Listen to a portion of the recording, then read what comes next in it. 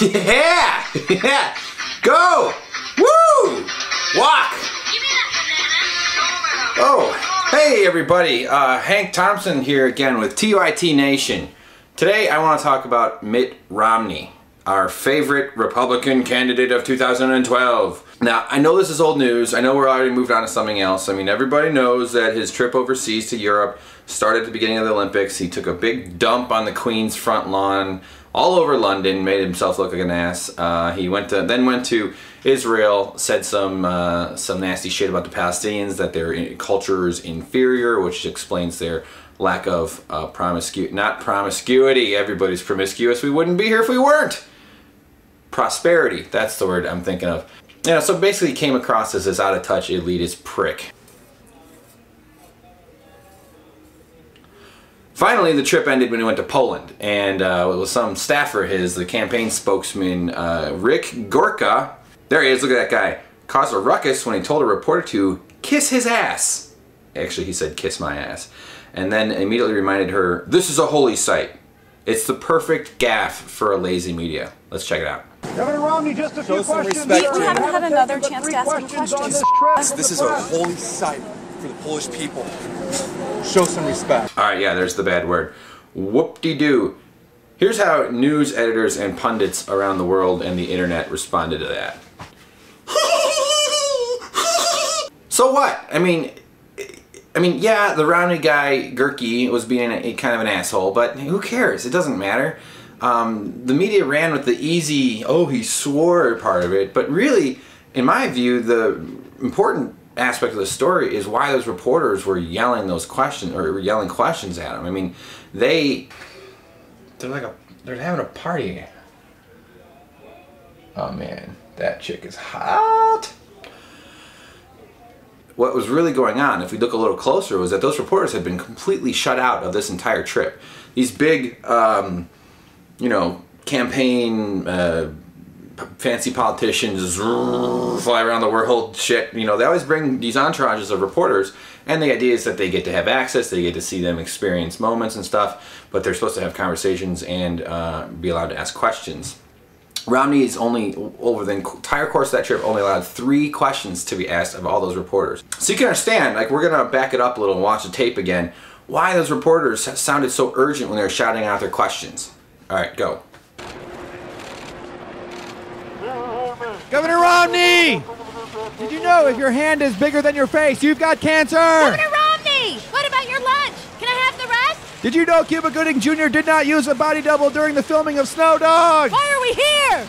I've got your nose! Governor Romney! Did you know ink is made of mostly mosquito eggs? I'm not joking, it's right here in my hand! What's it all for? Governor Romney, just a Show few some questions. respect. sir. We haven't had another chance to ask him questions on questions. this trip. This is a holy site. Nothing about that was doctored.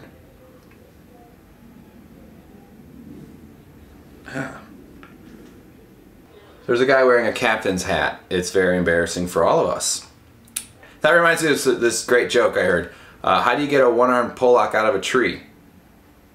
You get a ladder, you put it against a tree, you help make sure he's safe, and help him get down to the ground without hurting himself or you. I got two arms and I've been stuck in trees. It's really fucking scary. Romney was in Poland at this uh, memorial, this Tomb of the Unknown Soldier. That's the holy site the guy was referring to.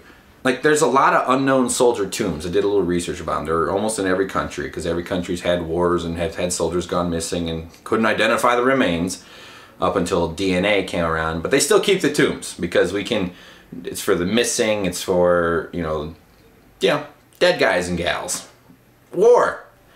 What the hell is Mitt Romney doing at the tomb of the unknown soldier in Warsaw, Poland? Let's look again. Here, there he is. He and this lady. There you go. They're walking right next to each other. That's not what you think it is. That, uh, that's Mormon slow dancing.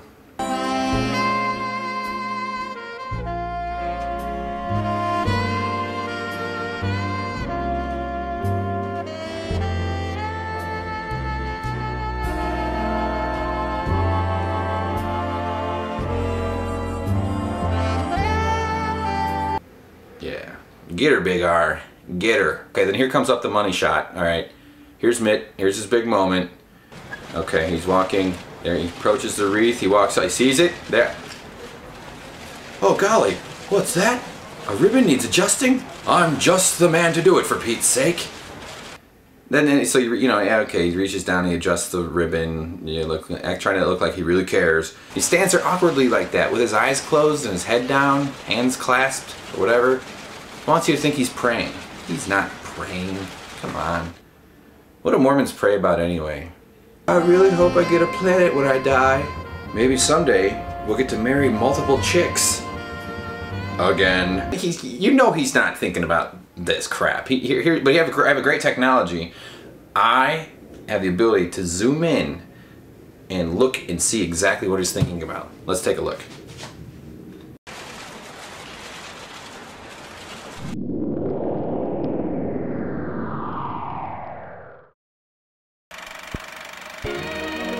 Kittens are ready for a little frolic. And what has Curly found? It's a ball of yarn. Round and round he goes, and over on his back, too. What fun they have. Classic Romney. And these wreath ceremonies, uh, they're fairly common. They've been around for a long time. There's sort of a long tradition of them. Something about how flowers are beautiful and then they die. That's the way it's supposed to work. Um, you know, they can be small private affairs to honor fallen family member, soldier, community type of thing. But they're often these really big, elaborate, like rigidly structured with strict protocol type of military ceremonies. Uh, you know, like attended by heads of state, attended by like visiting dignitaries. It's supposed to be a big honor thing. Oh, they're like having a barbecue. People having fun, and I'm doing. uh, here, look at the National uh, Arlington National Cemetery website. They've got all kinds of uh, information about it. There's the uh, there's the dress code. Um, let's see, all kinds of stuff here. Collared shirts uh, for women. Um, they seem to be concerned about the skirts. All right, so don't show off those sexy thighs, you babes. Let's see, blue jeans, ripped stuff. Um, no patches on your pants. That's important. tank tops. That's obvious. Come on, who wants to see armpits? Um, shorts are are banned uh, unless you're like a Girl Scout or a Boy Scout or something, kind of wearing a uniform. Shirts that expose the midriff. Damn. That sucks.